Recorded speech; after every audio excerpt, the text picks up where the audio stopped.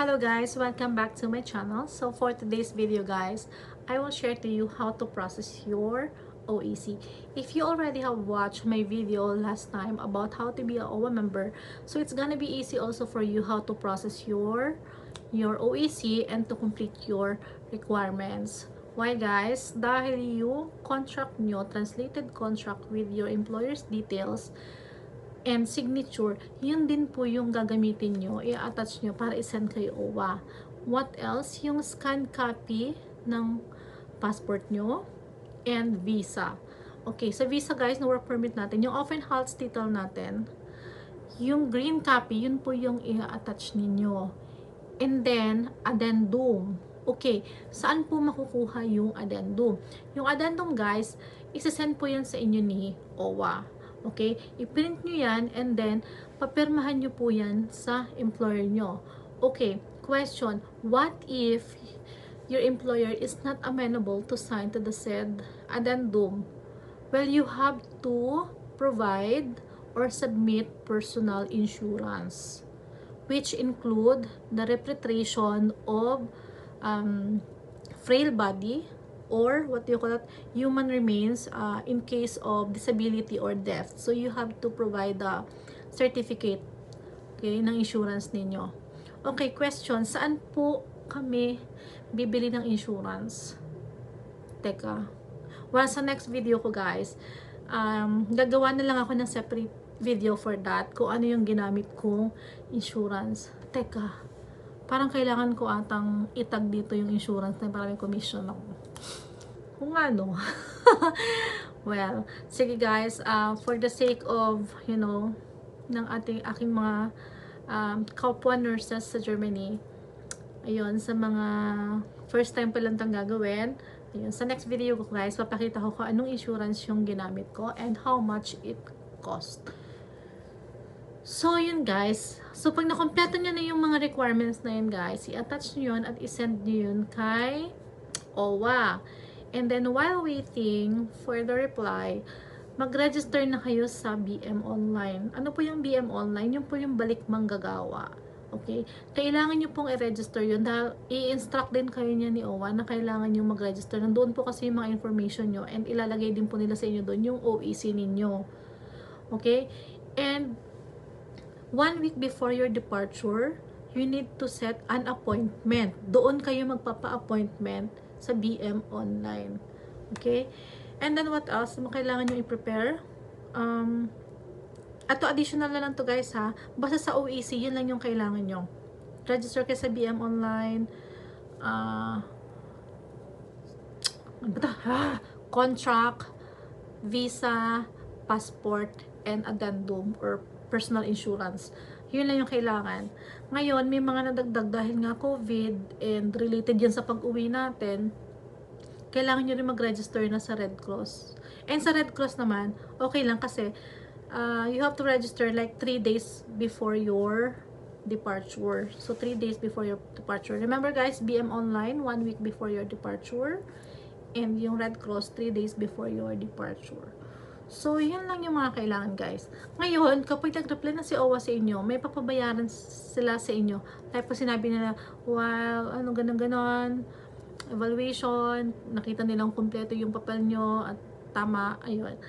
May papabayarang 9 euro at may yung bank details, yun pa rin naman, tulad ng nagbayad kayo sa membership fee. Yun pa din guys. 9 euro for processing fee ata yun. And then, i-attach nyo yung transaction or yung proof of payment ninyo. I-send nyo sa kanila. And then, mag-email na naman yan sila. Antayin nyo guys. Yung email nila naman, papabayaran sa inyo yung OEC certificate. 2 euro lang naman yun guys. And then, i-send nyo kaagad, back, send back nyo agad yung resibo para mabilis. And then, kapag hindi kayo nakaka-receive ng message guys, kayo mahiyang magtanong. Okay? Huwag kayong mahiyang magtanong. Follow up kayo ng follow up para din yun naman pabilis kasi natatambakan yan eh. Natatambakan yung mga emails. Hindi lang naman siguro tayo yung nag apply so be patient and then follow up lang. Ah uh, ano pa ba? Ayun example kasi sa akin guys. Napaka spontaneous kasi ng biyahe ko. Talagang spontaneous talaga siya. Naisip 20, January 21, naisip ko umuwi. Pagka January 22, nagbook agad ako ng ticket na hindi ko man lang tinignan pa nga yung rules, ano mga ganun, ganun, ganun. Kasi nagbook ako ng ticket. And then, January 23, 24, naka-ready na rin kasi yung mga documents ko na yan, guys, eh. Meron na ka, kasi kaagad akong translated documents. May mga scan copy na ako ng visa ko, and then, contract, ayun, addendum, kaya ako nagkaroon ng personal insurance kasi yung addendum, hindi ko na pinaasikaso sa boss ko para ako na lang mabilis, dire-diretso. So yun, January 23, 24, sinubmit ko sa kanila. Ang biyahe ko, 19, Feb 19. O ba walang one month. Parang one week before ako magbiyahe, meron akong, meron na akong mga certificate nakapa-member na. Hindi pa ako member nun sa OWA ha. Nakapa-member ako sa OWA at saka OEC. Isang process, isang process yung ginawa ko. So, ayun.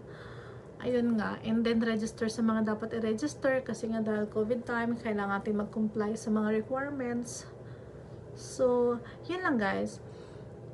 And, if you have more questions, feel free to message me sa aking FB page and or comment down below.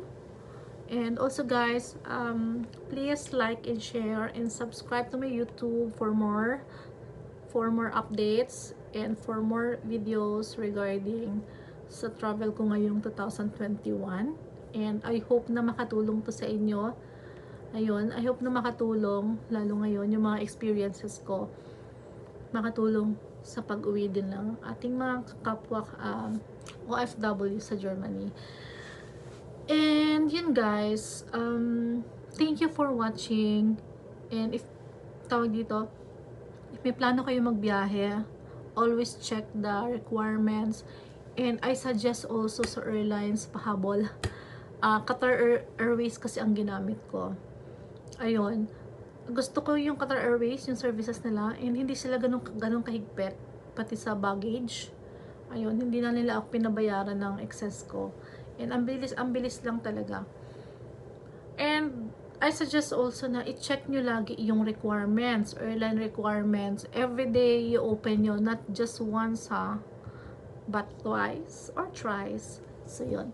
I-check nyo lagi yung requirements kasi uh, anytime pwede magbago. Lalo sa panahon natin ngayon, hindi natin alam. Anytime pwede magbago. So, i-check nyo lagi yun para pagpunta nyo ng airport, hindi kayo mahirapan. Like ako, hinanapan ako, pagdating na pagdating ko doon, hinanapan ako, may test result daw ba ako, ganun ganun, sabi ko, ay wala sa requirements yung sabi ko, ang nakita ko lang doon, uh, pagdating pa ng Philippines, doon kami magte-test, ganun, and then nabanggit ko nga, nakaregister ako sa Red Cross, and then pinakita ko yung QR code ko, and then pinapasok na nila ako, ayun, naka-check in na ako. So, ayun lang guys, uh, thank you for watching, and please, um, let us all pray na matapos na yung pandemic and maging maayos na yung pag-travel uh, lalo na sa mga kababayan natin na hindi OFW napakahirap sa part nila dahil super gastos at hassle talaga. So yun lang. And stay healthy guys. Stay safe. And God bless you all. Choose